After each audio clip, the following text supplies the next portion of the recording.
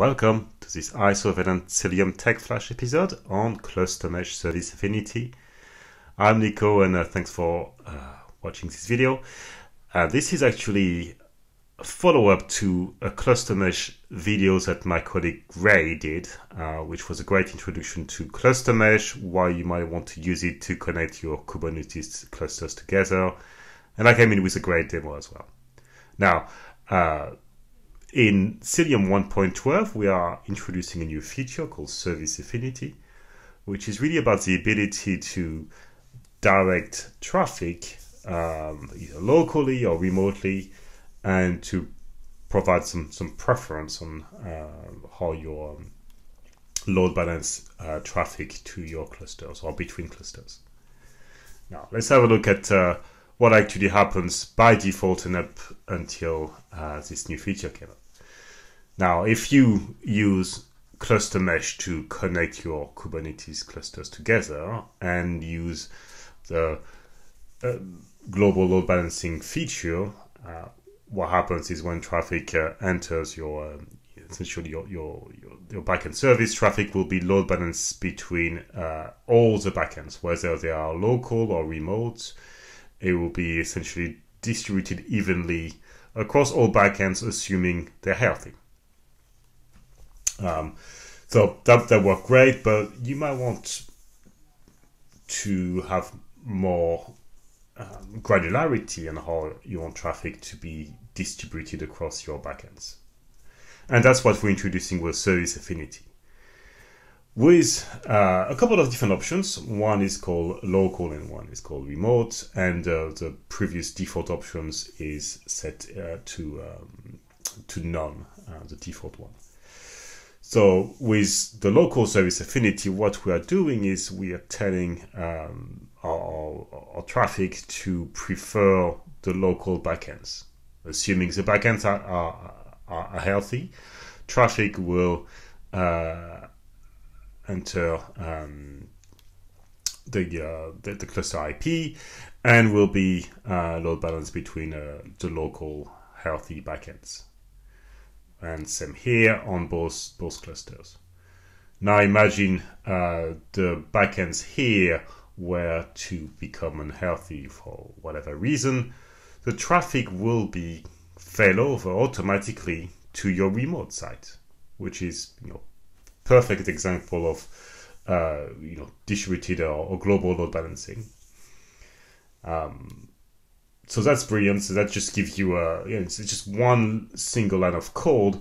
What you'll be using is an annotation to specify that a service is is local, remote, or again, you can keep stick to the standard behavior where traffic was distributed evenly across all healthy uh, connected clusters. Uh, we also have another option which is probably going to be less used, but it can be handy which is uh, the remote option, where you might want to to tell the traffic to go to the remote site, and that could be maybe for canary deployments where you want to do some uh, upgrade on your back local backends, and you want the traffic to go away from your local backends towards the remote site. And again, if the remote sites were to become unavailable, uh, you will actually prefer uh, to use the local traffic. Um, as I mentioned, it's just one line of code uh, to uh, in your service specification. You can add an annotation that says, okay, the service affinity is set to local, and likewise for remote. Now, let's have a look at the demo to see how it all works. Now let's have a look at the demo. So what we're going to do here is we're going to uh, generate some traffic from a, a, local pod to a service that is globally available across multiple clusters connected in a cluster mesh. And we're going to try with different types of service affinity to see what happens uh, when, um, when, when traffic is distributed or when a pod fails so let's uh, have a quick look at what we've got here. So we're actually using kind to run out uh, our clusters. And if we look, we've got Cilium is working, enabling a cluster mesh. We're actually in the kind services service affinity one context. And if you look at the cluster mesh status, we can see that the cluster connection to kind service affinity 2 is configured and connected. So we've got two clusters connected with cluster mesh and it's working fine. We've deployed a couple of daemon sets in the namespace demo. Everything is ready and working. So echo server daemon set is for is, our, is essentially our very basic HTTP server and we'll be running some curl requests from the netshoot daemon set.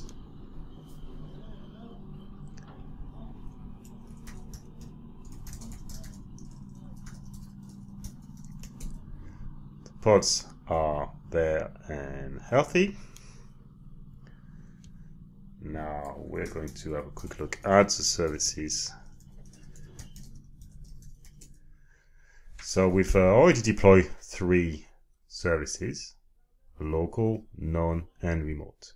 Now, so non again is the, the default mode, the one we we had in uh, in previous times before 1.12 was released, and that will load balance the the traffic across all the healthy endpoints.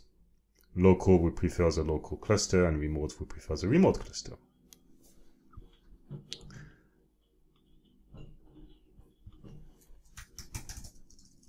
And the way to set this up was by using annotation is in the services specification.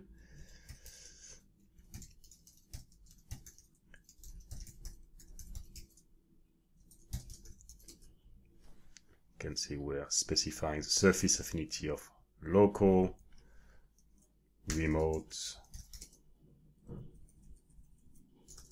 or not.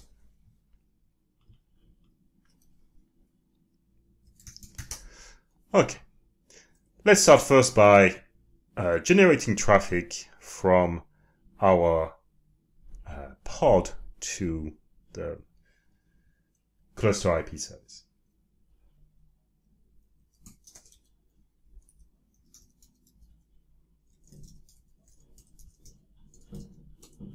So we're generating 100 requests. We are essentially connected to um, the the client and we're running curl requests and then we're just filtering and uh, displaying the requests. So you can uh, essentially count how many of the requests are uh, staying local or going to the remote cluster.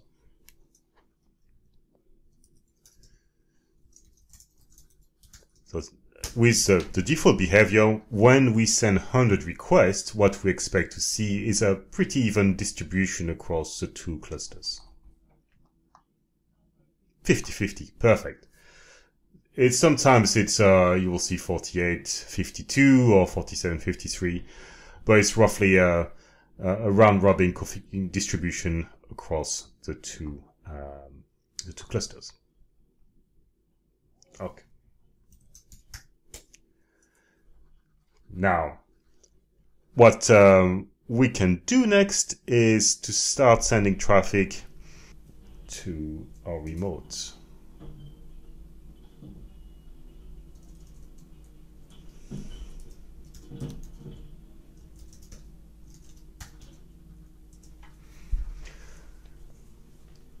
So here, again, we are sending request from a pod which is in cluster 1 to a globally available service which is available both in cluster 1 and in cluster 2.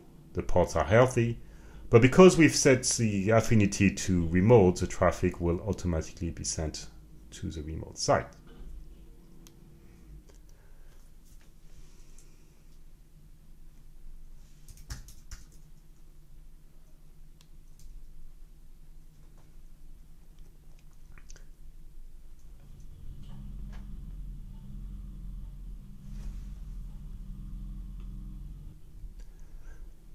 Now let's run some uh, um, local connectivity tests from a pod in uh, cluster 1 to uh, a service set up to a local affinity annotation to ensure that the traffic stays locally.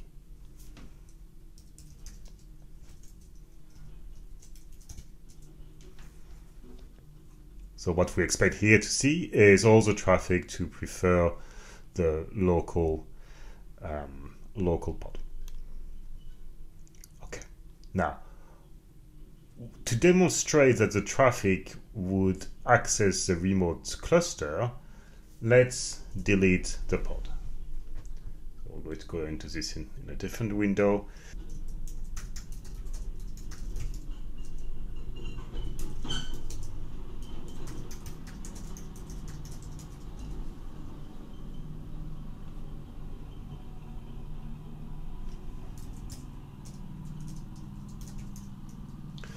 As this part of a daemon set, it would autom automatically be recreated, but we, while it's being uh, recreated, we're going to rerun the command we ran before. And then what we expect to see is traffic to be redirected to um, the remote site.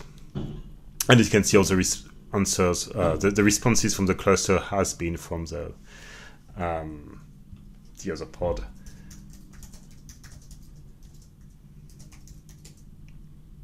As uh, clearly we are still terminating the uh, um, the echo server. Now this is uh, that, that's it for the demo. Hopefully, what you can see is uh, um, how we can use this service affinity to have some more granularity on how we direct traffic to our um, you know between our clusters and um, Get the local, the remote, and uh, the standard non options.